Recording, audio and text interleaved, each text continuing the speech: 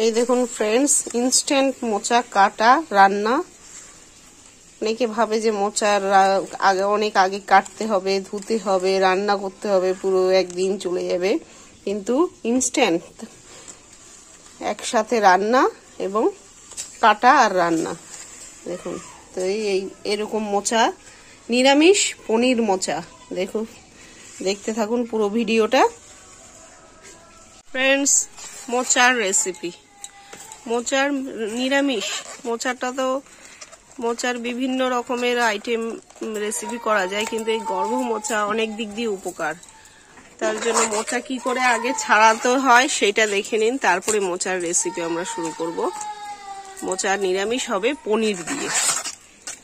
পনির পনির মোচা। পনির মোচার জন্য পনিরটা তো এই যে কেটে নিয়েছে কিউব সাইজের সঙ্গে দুটো টমেটো। আর এই যে মোচাটা এখন কি করে ছাড়াচ্ছে মোচা ফুল অফ আয়রন, যে আয়রনের অভাবে হয় অ্যানিমিয়া রোগ মানে রক্তাল্পতা। রক্তাল্পতাটার জন্যই বিশেষ করে মহিলাদের আয়রনের খুব ঘাটতি থাকে। এই মোচা, বিভিন্ন রকম আইটেম খাওয়া, কলা মাত্রেই আয়রন। কাঁচকলা বলো, মোচা বলো, থোর বলো, তো কিন্তু এইটাতে বেশি থাকে মোচাটাতে। এবং খেতেও খুব টেস্ট। এই যে গর্ভ মোচার এই কলার ভাবটা যে আছে, এই কলার ভাবটার জন্যই আরও বেশি টেস্ট লাগে, কলাটা শুদ্ধ মোচা। এর একটা আঠালো আঠালো ভাব হয় রান্না করলে যে কোনো প্রকারের রান্না করো। সেটা আমিষ হোক, নিরামিষ হোক আমিষে তো চিংড়ি মাছ মাস্ট চলেই, কিন্তু নিরামিষেও খেতে টেস্ট এবং ইনস্ট্যান্ট ইনস্ট্যান্ট ছুলে অনেকে ভাবে যে আগের থেকে কেটে ভিজিয়ে রাখতে হয়, অনেক ঝামেলা। কিন্তু এখানে কোনো রকমের নয়। ইনস্ট্যান্ট কাটা এবং রান্না, সঙ্গে সঙ্গেই। এখন কেটে নিচ্ছে, এখনই রান্না হবে। মোচাটাকে তার জন্য আগে একটু ভাপিয়ে নেবে। ভাপানোর জন্য পাশে কড়াইতে জল দিয়ে দিয়েছে। জলে কি দিয়েছেন? হলুদ গুঁড়ো। হলুদ গুঁড়ো দিয়ে জলটা গরম হতে হতে মোচাটা কাটবে আর কড়াইতে দেবে। দেখুন। ইনস্ট্যান্ট অনেকে ভাবে যে মোচা আর কালো, হাতে একটু কালো হলেও সেটা যে কোনো লেবু রস দিয়ে বা লেবুর খোসা দিয়ে ডললেই বা আলুর খোসা দিয়ে ডললে উঠে যায়। তার জন্য যে অনেকে খাওয়ায় খায় না যে মোচা কি করে খেতে হয়, কি করে কাটবো, কি করে রান্না করব, আজকে সবই দেখাবো। কি করে রান্না হচ্ছে, কি করে কাটা হচ্ছে দেখুন। এটাকে মোচাকেটাকে আমাদের ভাষায় বলা হয় গর্ভ মোচা মানে কলা শুদ্ধ মোচা। এর টেস্টটা বেশি। আর বাজারে তো অ্যাভেলেবেল পাওয়াই যায় যে কোনো বাজারেই পাওয়া যাবে। দেখুন, কাটছে আর ভিজাচ্ছে।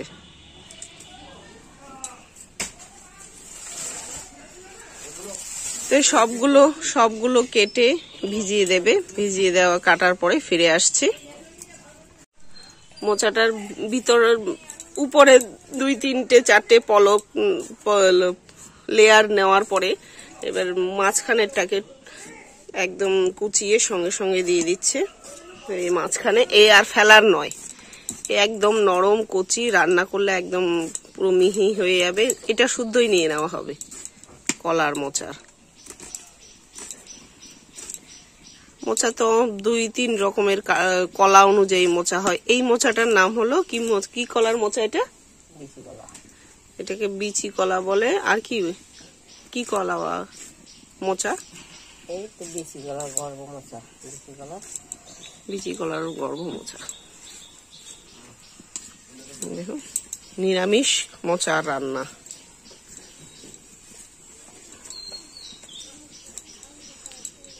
এই নিরামিষ রান্নাতেও বিভিন্ন রকমের অ্যাড করা যায়। আমরা গতকাল মোচা খেয়েছি, বাদাম দিয়ে, ছোলা দিয়ে। আজকে রান্না হবে ছোলা দিয়ে, বাদাম দিয়ে, উইথ পনির দিয়ে। ফ্রেন্ডস এই কাটতে কাটতে সিদ্ধ করে, সিদ্ধ হয়ে নামিয়ে নিল।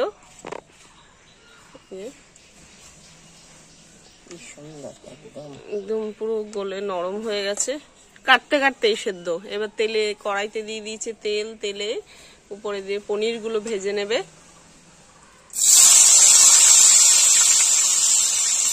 ভাজতে ভাজতে দিয়ে দিচ্ছে লবণ, যাতে পনিরের ভিতরে একটু লবণ ঢোকে। দেবে হলুদ।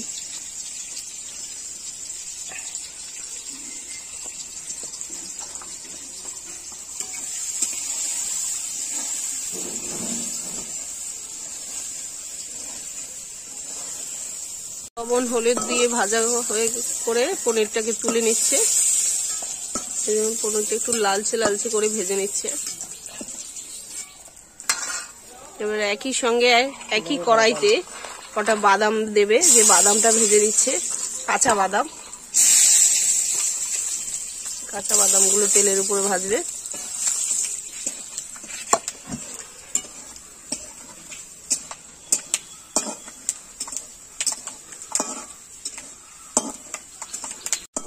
বাদাম ভাজা হয়ে গেছে, বাদামগুলো তুলে নিচ্ছে।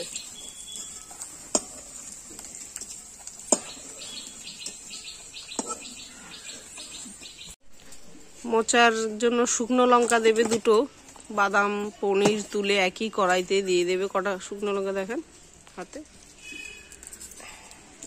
শুকনো লঙ্কা দিয়ে দেবে চিড়ে। লঙ্কা হিসেবে এই লঙ্কায় ব্যবহার করবে, আর কোনো লঙ্কা নয়। ঝালটা যার পরিমাণ অনুযায়ী। দিয়ে দিল তেজপাতা।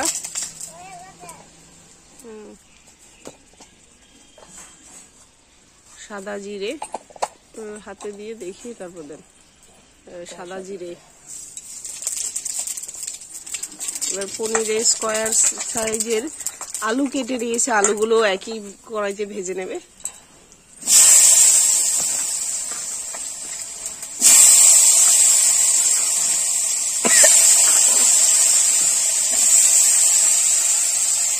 দিয়ে দেবে লবণ আলুটা ভাজার মতন করে লবণ। একই সঙ্গে আলু ভাজতে ভাজতে কড়াইতে টমেটোটাও দিয়ে দেবে কুচি রাখা টমেটো দুটো।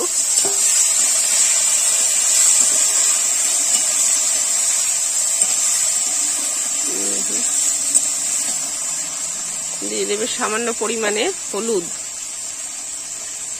হলুদ তো অলরেডি এমনি মোচাতে দেওয়াই আছে, তাও অল্প হলুদ দিয়ে দেবে।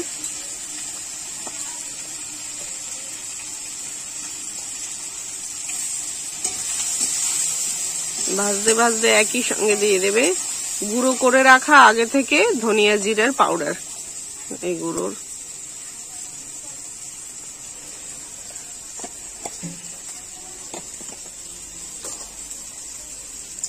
ঘষে রেখে আদা ঘষা দিয়ে দেবে গ্রেট করে রাখা আদা। আদা, জিরা, বাটা, এগুলো বাটা মশলা হিসেবে আপনারা ব্যবহার করতে পারেন।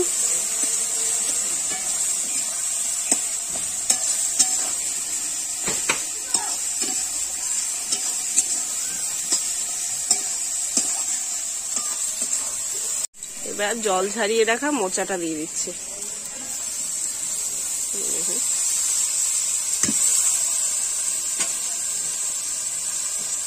একই সঙ্গে দিয়ে দিচ্ছে আর একটু স্বাদ মতন লবণ।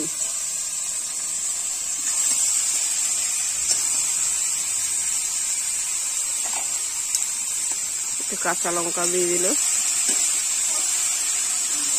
এবার এইভাবে নেড়ে নেড়ে কষিয়ে নেবে। এক্ষেত্রে কোনো জল ব্যবহার করবে না।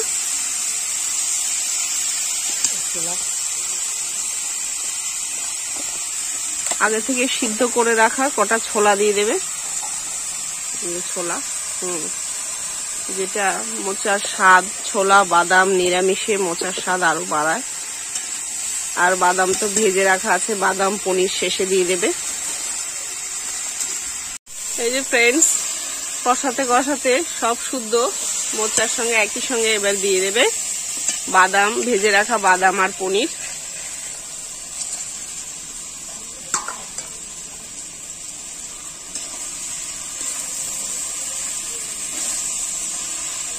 এইভাবে আরেকটু নেড়ে চেড়ে নেবে।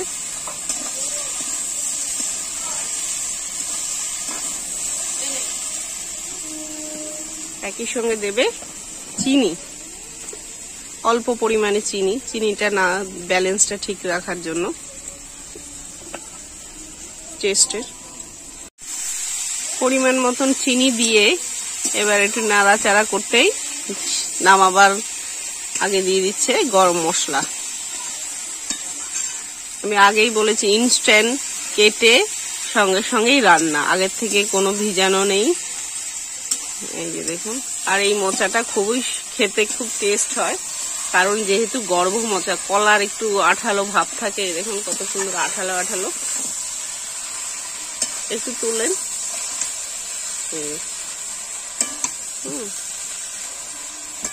দিয়ে দেবেন নামাবার আগে গরম মশলা। হয়ে গেল নিরামিষ পনির মোচা।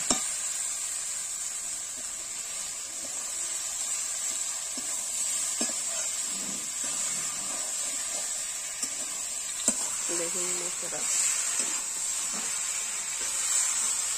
ফ্রেন্ডস এই যে মোচা হয়ে গেছে। তার আগে লবণ টেস্ট করা হয়ে গেছে। এবার তুলে নিচ্ছে মোচাটা, নামিয়ে নিচ্ছে।